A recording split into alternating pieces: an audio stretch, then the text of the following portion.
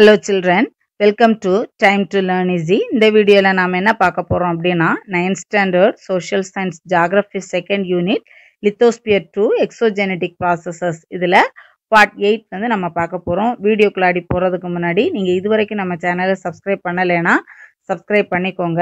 கூடவே பக்கத்தில் இருக்கக்கூடிய பெல் ஐக்கானையும் கிளிக் பண்ணி ஆல் அப்படிங்கிற ஆப்ஷனையும் சூஸ் பண்ணிக்கோங்க.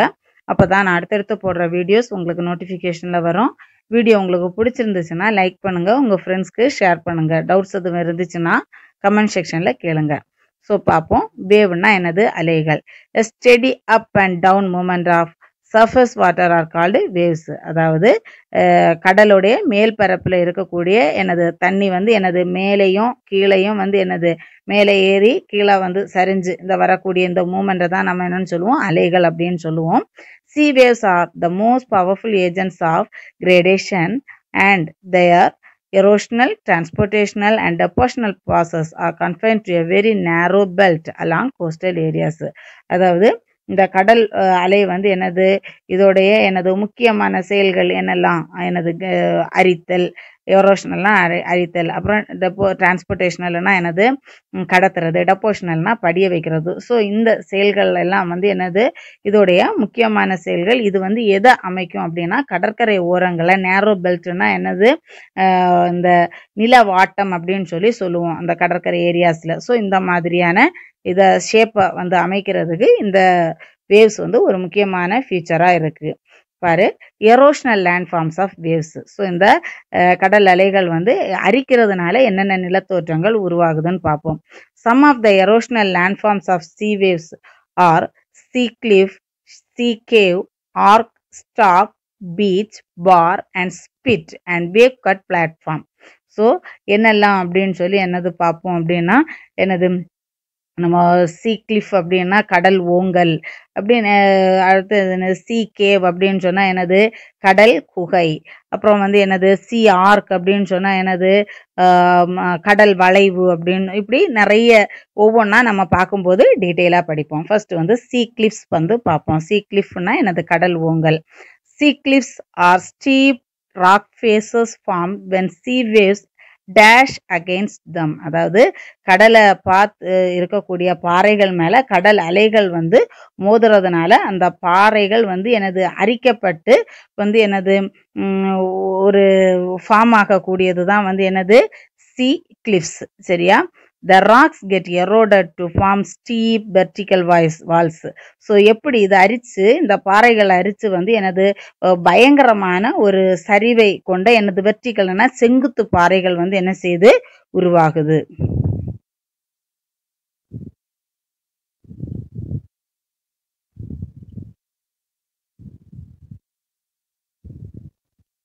அடுத்தது நம்ம என்ன பார்க்க போகிறோம் அப்படின்னா சி கேவ் ஸோ இது வந்து எனது ஒரு two mark question sea cave sea cave sea arch ரெண்டு சேர்த்து என்னது fifth two mark question so பாரு சி கேவ்னா எனது கடல் குகை prolonged wave attack on the base of a cliff erodes rock materials which result in the formation of caves அதாவது கடல் அலை வந்து தொடர்ந்து வந்து என்னது சி கிளிஃப் அந்த கடல் ஓங்கல் இதில் வந்து மோதுறதுனால இதோடைய அடிப்பகுதி வந்து அரித்து அரிச்சு எனது துவாரம் மாதிரியான ஒரு அமைப்பு வந்து என்ன செய்யும்? உருவாக்கும். இதை தான் வந்து என்னன்னு சொல்லுவோம்? கடல் குகை அப்படின்னு சொல்லி நம்ம சொல்லுவோம். அடுத்தது சி ஆர்க் ஆர்க்னா என்னது? வளைவு இல்லையா? So when two caves approach one another from either side of a headland of and unite they form and arch அதாவது எனது பக்கத்தில் பக்கத்தில் இருக்கக்கூடிய ரெண்டு சி கேவ்ஸ் வந்து எனது அதோடைய எனது நீண்ட நிலங்கள் வந்து எனது மறுபடியும் அரிக்கிறதுனால அது வந்து இ- இணைஞ்சு ஒரு வளைவு மாதிரியான ஒரு அமைப்பை வந்து என்ன செய்யும் ஏற்படுத்தும். சரியா? ஸோ இதை தான் வந்து என்னன்னு சொல்லுவோம் நம்ம சி ஆர்க் அப்படின்னு சொல்லுவோம். எக்ஸாம்பிளுக்கு வந்து Neil island Andaman and Nicobar island இதுக்கு உதாரணம். அடுத்தது பாரு சி ஸ்டாக் சி ஸ்டாக்னா என்னது? தூணுன்னு சொல்லுவோம் இல்லையா? கடல் தூண். Further erosion by waves ultimately leads to the total collapse of the arch அதாவது மறுபடியும் இந்த கடல் வளைவுகள் சி ஆர்க் வந்து அரித்து என்ன செய்யும்? அது வந்து என்ன செய்யும்? உடஞ்சிரும். சரியா? உடஞ்சு விழுறும் The word portion of the headland will remain as the pillar of rock known as stack so இது எனது உடஞ்சு விழுந்த இந்த இதோடைய இந்த சி ஆர்க்குடைய ஒரு பகுதி வந்து கடலை நோக்கி வந்து எனது ஒரு தூண் மாதிரி வந்து என்ன செஞ்சிடும் நிற்கும் ஸோ இதை தான் நம்ம என்னன்னு சொல்லுவோம்? ஸ்டாக் அப்படின்னு சொல்லி தொ- சொல்லுவோம். பில்லர் மாதிரி தூண் மாதிரி இருக்கும். Example the old man of in Scotland அதாவது எனது ஹாய் ஸ்காட்லாண்டில் இருக்கக்கூடிய ஓல்டு மேன் ஆஃப் ஹாய் அப்படிங்கிறது எனது இதுக்கு ஒரு எக்ஸாம்பிள்.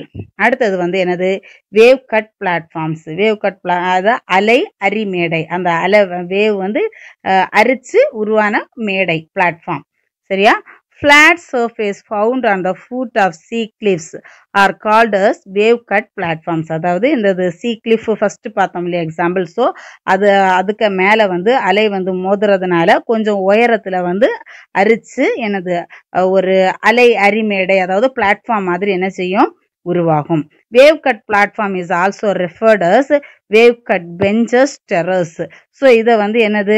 நம்ம வந்து என்னது? வேவ் கட்டு பெஞ்சஸ் பெஞ்சஸ்னால் என்னது? பெஞ்சு மாதிரி இருக்கும் இல்லையா? டெரஸ்னா என்னது? திடல் மாதிரி. ஸோ இப்படியெல்லாம் கூட என்னது? நம்ம இதை சொல்லலாம். அடுத்தது வந்து என்னது? டெப்போஷனல் லேண்ட்ஃபார்ம்ஸ் ஆஃப் பீச் அதாவது வேவ்ஸ் ஸோ வேவ்ஸ் கடல் அலைகள் வந்து டெபாசிட் பண்ணுறதுனால என்னென்ன லேண்ட்ஃபார்ம் உருவாகுது? பீச் பீச்னா எல்லாருக்கும் தெரிஞ்ச எப்போவுமே பார்க்குறவங்க எல்லாருக்கும் தெரிஞ்ச ஃபார்ம்னா இதுதான். பீச் இல்லையா? பீச்னா தெரியாதவங்களே இருக்காது. Sand and gravel are moved and deposited by waves along the shore to form beaches. அதாவது கடல் அலையால் அரிக்கப்பட்ட மணல் சரளைக்கல் கடலோரத்தில் படிய வைக்கப்படுறது தான் வந்து என்னது? பீச் அதாவது கடற்கரை. This is most dominant and constructive work of the sea இது வந்து எனது கடல் அலைகளோட மிக முக்கியமான ஒரு வேலை. சரியா? எக்ஸாம்பிள் என்னது? Juhu Juhu beach along Mumbai coast Puri beach in Odisha and Marina beach in Chennai இதுக்கு ரொம்ப எக்ஸாம்பிள்ஸ் எக்ஸாம்பிள் அப்படின்னு சொல்லி பெஸ்ட் எக்ஸாம்பிள்னு சொல்லணும்னா எனது ஜுஹு பீச் அப்புறம் சென்னையில் உள்ள எனது மெரினா பீச் ஒடிசாவில் இரு இருக்கக்கூடிய பூரி பீச் இதெல்லாம் சொல்லலாம். அடுத்தது பார் அப்படின்னா என்ன பாரு? மணல் திட்டு. A bar is an elongated deposit of sand, shingle or mud found in the sea almost parallel to the shoreline. அதாவது மணல் திட்டு அப்படின்னா கடற்கரையில் மணல் படிவுகளால் ஆன ஒரு நீளமான நிலத்தோற்றம் தான் வந்து என்னது? மணல் திட்டு அப்படின்னு சொல்லி சொல்லுவோம். சரியா? இது வந்து என்னது? பேரலா கடற்கரைக்கு இணையா ஈக்குவலாக இருக்கும். அந்த பீச்சுக்கு ஈக்குவலாக ஒரு கோடு போட்ட மாதிரி என்ன செய்யும்? இருக்கும். அடுத்தது நம்ம என்ன பார்க்க போகிறோம் அப்படின்னா ஸ்பிட் ஸ்பிட்டுன்னா என்னது? இதுவும் வந்து என்னது? மணல் திட்டு தான். சரியா? இது நீளமான மணல் திட்டை தான் ஸ்பிட்டுன்னு சொல்லி நம்ம சொல்லுவோம்.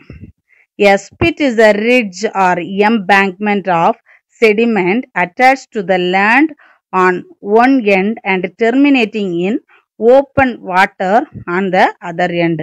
அதாவது மணல் திட்டோடைய ஒரு முனை வந்து நிலத்தோட இருந்தும் எனது இன்னொரு திட்டு வந்து எனது முனை வந்து எனது கடலை பார்த்து நீண்டும் வந்து எனது இருக்கக்கூடிய வந்து எனது அந்த கடல் இதை தான் வந்து நம்ம என்னன்னு சொல்லக்கூடியோம் ஸ்பிட் அப்படின்னு சொல்லி நாம சொல்லுவோம் spits are common at the mouth of estuaries so வந்து என்னது? இது வந்து எஸ்டோரிஸ் ஓத பொங்கு முகங்கள் அப்படின்னு சொல்லுவோம் இல்லையா?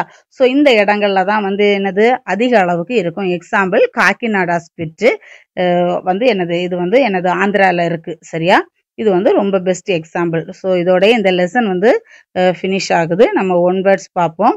The disintegration or decomposition of rocks is generally called as weathering The process of the leveling up of land by means of natural agents gradation. Thus is seen in the lower course of river delta.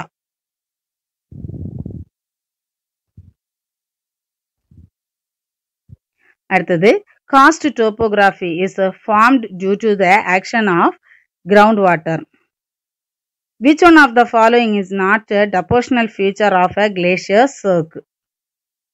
Deposits of fine silt blown by wind is called as loess. Stalks are formed by wave erosion. Dash erosion is responsible for the formation of cirque glacial. அடுத்தது match the following பாரு distribute is lower course of river mushroom rock aeolian process அப்புறம் என்னது எஸ்கோஸ் எஸ்கோஸ் வந்து glacial action ஸ்டாலக்சைட் அப்படின்றது என்னது cost topography கிளிஃப்ங்கிறது என்னது? Action of sea water அடுத்தது consider the given statement and choose the right option given below so இதில் வந்து ஆன்சரை மட்டும் சொல்கிறேன் one two and three are correct second one வந்து எனது ஸ்டேட்மெண்ட் ஒன் ஸ்டேட்மெண்ட் டூ பார்த்தீங்கன்னா statement one and two are true அடுத்தது தேர்ட் கொஸ்டின் பார்த்தீங்கன்னா எனது the statement and reason are wrong அடுத்தது வந்து என்னது? கொஸ்டின் டூ மார்க் கொஸ்டின் வந்து என்னது?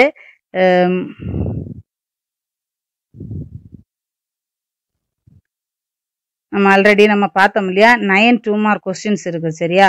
ஸோ பாரு எயித்து டூ மார்க் வந்து என்னது? மொரைன் ட்ரம்லின் எஸ்கர் இது எல்லாமே வந்து எனது ஒரு டூ மார்க் கொஸ்டின் அடுத்தது எனது வேவ் கட் பிளாட்ஃபார்ம் இப்போ நம்ம பார்த்தோம். ஸோ இது வந்து என்னது? Tenth two mark ninth two mark mention the various features formed by wind erosion so அதுதான் நைன்த்து டூ மார்க் அடுத்தது டிஸ்டிங்விஷ் பாரு.